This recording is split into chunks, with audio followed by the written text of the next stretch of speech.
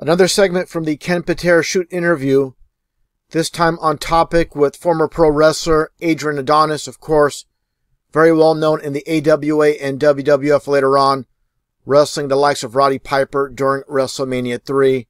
And in this segment, Ken Patera talks about Adrian Adonis destroying a hotel room.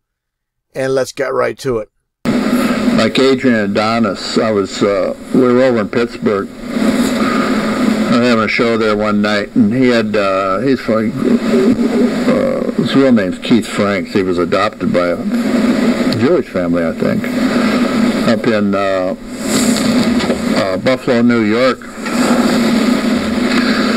So I think it was uh, one of his cousins or stepbrother or something, you know, and some buddies of his from uh, they were cocaine dealers. They they came down to uh, Pittsburgh to watch us wrestle well, they brought Adrian. It was Adrian's birthday, so they brought him down an eight ball of cocaine, a little plastic baggie. And so uh, that afternoon, uh, Adrian started snorting that cocaine. He got real fucking bad. He was he was on that shit every day for a couple years.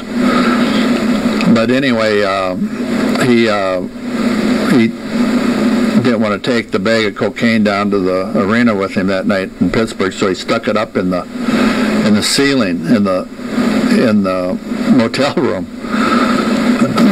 So we get back and he goes to find it in the ceiling. He couldn't find it. He tore half that fucking ceiling out. I said, Adrian, what the hell are you doing? Because I had gone to my room, then I came around, knocked on the door. Who is it? Who is it? He's paranoid as shit the FBI and the cops were chasing him or something or looking for him. So I says, Patera, oh, so I walked in, the, his room was destroyed. I said, what the fuck you doing? He said, somebody was in here, they stole my cocaine.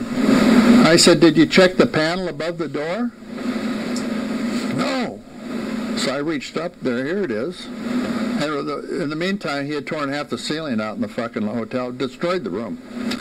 You know, broke the furniture. He was all pissed off and just, uh, paranoid as shit. And um, he said, close the door. So he put a towel by the door and he turned the fan in the bathroom on and, oh, just uh, unbelievable. But a lot of the guys were like that. They, they, they'd get so strung out.